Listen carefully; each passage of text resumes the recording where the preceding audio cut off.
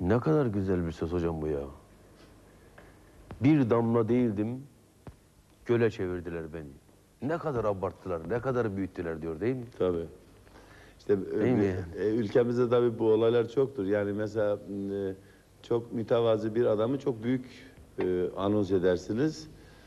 Adam bir bakar ki Bütün felaketler de üzerine yıkarsınız 10 ayrıca. kilo yük taşıyabilen adamı sırtına bir- bir ton yük yüklemişsiniz. Adam şaşırır ortalıkta kalır. Ülkemizde iş yapacak olan insanların sırtında daima kendi yapacaklarının çok üzerinde yükleri vardır. Hani geçmişte anlatmıştım ya bir fıkra aklıma geldi. Yine anlatayım. Diyarbakır'da garibim hamalın ayakkabısıyla birlikte ağırlığı 38 kilo. Böyle mahallede gidiyor. Üzerine yüklemişler 150 kilo yükü. Kadın da pencereden çıkıyor diyor ki adam böyle canı çıkmış yükle gidiyor. Diyor ki hammal hammal saat kaç?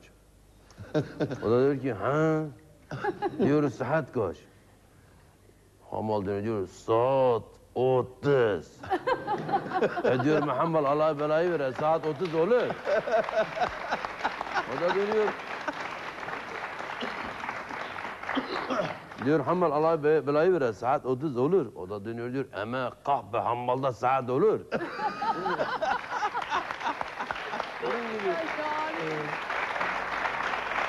Go ahead.